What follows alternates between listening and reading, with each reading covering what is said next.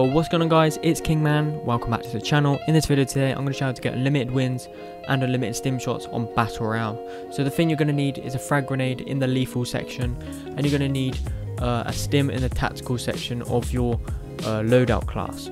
So what you're going to need for this is a loadout drop, and you're going to need at least 10,000 points to buy this. So what you first want to do, you want to start collecting money and get 10,000 uh, cash, and then you want to uh, buy a loadout drop go to your loadout drop, pick the class that has the frag and the stim, and you then just want to follow my step in the video next. So what you want to do, you want to find a wall, and you pretty much want to throw the frag grenade, you then want to pick it back up, press down on the D-pad to look at like your items that you want to drop.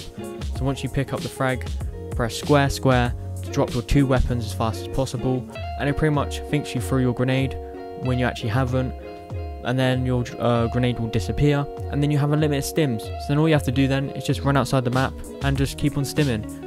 This is the after patch for um, the unlimited wins uh, on Warzone and I guarantee this will get patched very soon but just be very careful because I'm not really sure if you can get banned but just be very careful because you're probably most likely going to get banned for this because you can get unlimited wins.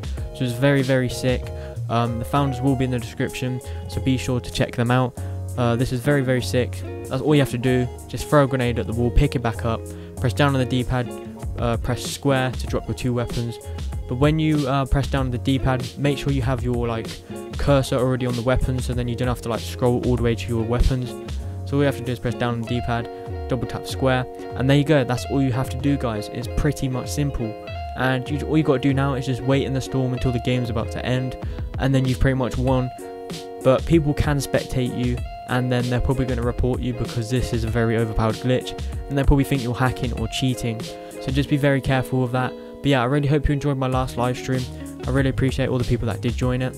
And even if you did watch it i really appreciate it. And yeah guys so that's it for today's video. I hope you enjoyed. I'm Kingman124 if you are new you know what to do. Smash that like button and subscribe to the channel. So hope you enjoyed. I'm Kingman124 see you in the next one. Peace out.